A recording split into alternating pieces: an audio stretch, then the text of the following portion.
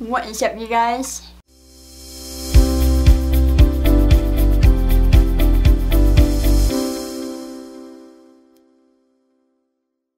It's time for love.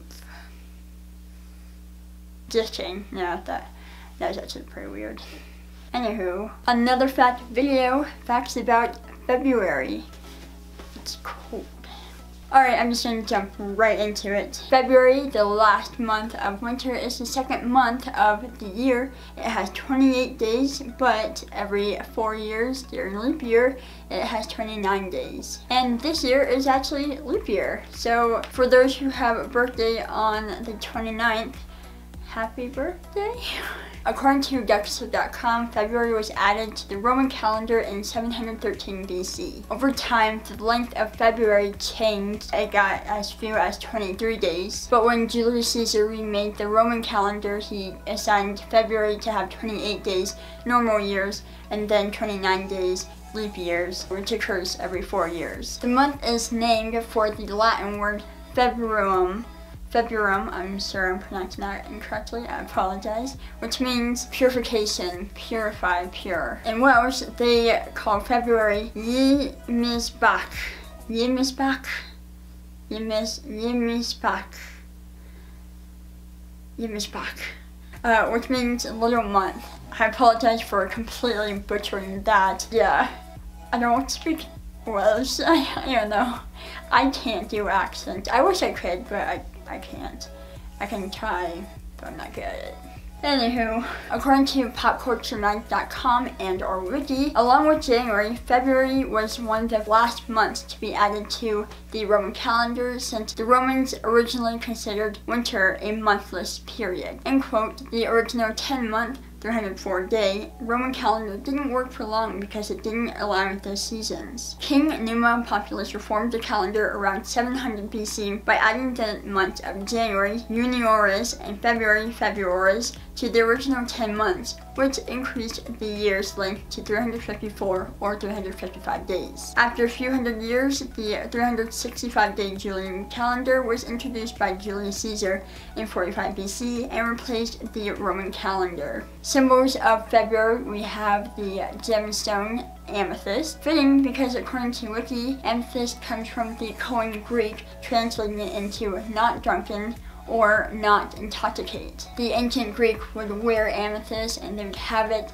carved into vessels and believed that it will help prevent intoxication. And I say this is fitting because February, purification, and amethyst, more or less the belief of keeping someone clean. We have the flower primrose, the Latin word primus, means first. This also connects with the fact that primroses bloom early in the spring. In Norse lore, Freya is the goddess of love and the primrose is very sacred to this goddess. So in rituals, when they want to honor the goddess of love, they will lay out primroses for her. In other cases, primroses are also a representation of women. It is also understood that the five petals on a primrose represent the various stages of life. Birth, initiation, followed by consummation, then there's repose, and in the end, death. Finally, we have the zodiac for February. We have Aquarius, which is January 21st through February 19th, and Pisces, February uh, 20th through March 20th. Moving on to history, popculturemadness.com. Looking at February 1st, 1884, the Oxford Dictionary was debuted. 1887, the area known as Hollywood was found. February 3rd, 1690, the first paper money in America was issued today in the colony of Massachusetts. February 3rd, 1870, the 15th Amendment was ratified in the U.S., granting every citizen, regardless of race, the right to vote. February was also a big month for Walt Disney because he released many of his films in this month. We have 1938, Snow White and the Seven Dwarfs was released. February 5th, 1953, Peter Pan was released. February 7th, 1940, Pinocchio was premiered. February 15th, 1950, Cinderella was opened in the theaters. It was one of the biggest films of the year and was re-released many times, 1957, 1965, 1973, 1981, and 1987. Going back to February 4th, 2004, Facebook was launched at thefacebook.com. February 6, 1952, Queen Elizabeth II succeeded to the British throne. February 7, 1964, the Beatles first arrived in the United States. February 7, 1982, Superman, the movie was broadcast on American television for the first time. Was in two parts, continued the following night. February 8, 1998, the first female hockey game in Olympic history took place. Finland defeated Sweden 6 to 0. I think that's really cool. February 11, 1990, Nelson Mandela, the leader of the movement to ban South African apartheid, was released from prison after 27 years. February 11, 1914, the first stone of Washington, D.C.'s Lincoln Memorial was put into place. February 14, 1920, the League of Women Voters formed in Chicago, Illinois. 2005, YouTube.com was launched. Later that month, it was actually official and open for people to upload videos. February 16, 1968, Haleyville, Alabama was the first town to use the 911 emergency number. Okay, I so I had to do, I had to look this one up just in case my eyes were, were deceiving me. No, there is an actual place called Haleyville, Alabama. And it's spelled the same way as you spell my name. Imagine going to Haleyville High School in Haleyville, Alabama, and your name is Haley. Huh, that's crazy to think about. I'm sure there's a lot of people named Haley who go to Haleyville High School and is in Haleyville, Alabama. But I mean, like, still, that's still so cool. I am putting that on my bucket list. I, Haley, am going to go to Haleyville, Alabama, and maybe go to the school, Haleyville High School, because why not? Uh, yeah, that's on my bucket list, so, yep. Maybe I'll get a video on that one. Ooh, that'd be really fun. Road trip! Just kidding. I've never thought to Haley so many times in a video. Anywho, continuing. February 18th, 1885, Mark Twain's The Adventure of Huckleberry Finn was published for the first time. February 22nd, 2006, iTunes showed its brilliant music download to 16-year-old Alex Astrovisky. Astrovisky? Astrovisky. His last name. I don't know how to pronounce it. I do apologize about that. Hmm. 16-year-old Alex of West Bloomfield bought Speed of Sound by Coldplay.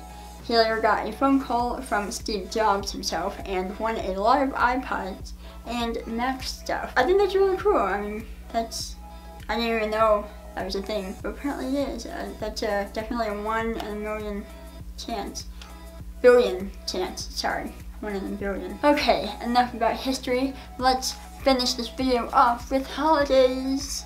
Going back to nationaltoday.com. Of course, we have Groundhog Day on February 2nd and Valentine's Day on February 14th. Oh, I forgot. How could I forget? Super Bowl. In February, here in the United States, the Super Bowl is super big. It's generally held around the first Sunday of the month. February 4th, we have World Cancer Day. February 11th, we have International Day of Women and Girls in Science.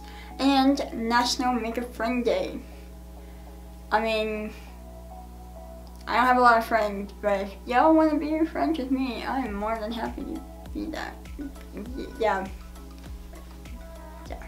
February 12th, we have Abraham Lincoln's birthday. February 15th, we have Single Awareness Day.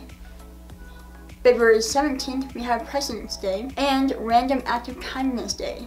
I hope you guys are doing that every day. I mean, it doesn't hurt. February 20th, National Love Your Pet Day always, every day. Since I work at a pet store, uh, I get to love on puppies all the time. February 25th, we have Mardi Gras. February 26th, we have Ash Wednesday. And finally, February 27th, National Pokemon Day. Guys, that is it for today's video. I hope you guys all enjoyed it. A couple years ago, I made a video called Facts About Valentine's, which goes a little more into fact about Valentine's. So if you guys are interested about that, you can click up here on this card to check that video out. I will also be continuing my hunt for hearts. For those who don't know, last year my friend and I, Lily and I, we went around to Loveland to search for these hearts that are located all over Loveland and they look like these. And so, yeah, we went on a mission last year to try and go find all of them. However, we couldn't find all of them, and turns out there are newer ones too. So I asked my friend if she wanted to join me again this year, and she said yes. So hopefully we will be able to go around again and find the rest of the hearts. This time it's gonna be a little tricky because um, I don't know where all the hearts are, and it'll be a little more spread out and a little more random. So yeah, but I think I have a plan, so hopefully. So yeah, stay tuned for that. I actually made a video a couple years ago about a little more about Loveland because we are known as the city with hearts because during February, during Valentine's, we are pretty big in love and art. And so, yeah. So if you want to learn more about that, you can also click up here to watch that video. But yeah, I think that is it for today. Until then, hope to see you all in the fun papers.